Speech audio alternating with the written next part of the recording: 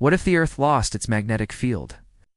This is our planet's protective shield against the harsh environment of space. It's made up of charged particles called plasma, which are constantly being blown away from Earth by the sun.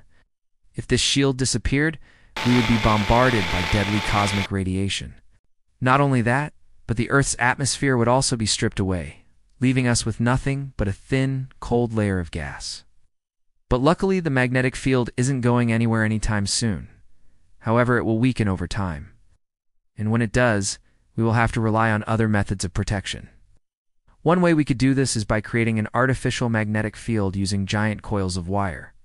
This would generate a force strong enough to keep the Earth's magnetic field lines contained and prevent them from escaping into space. Another option is to inject iron into the core of the Earth.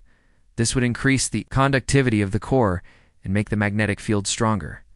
It's a good thing we don't have to worry about this happening today, but it's always important to be prepared for the future.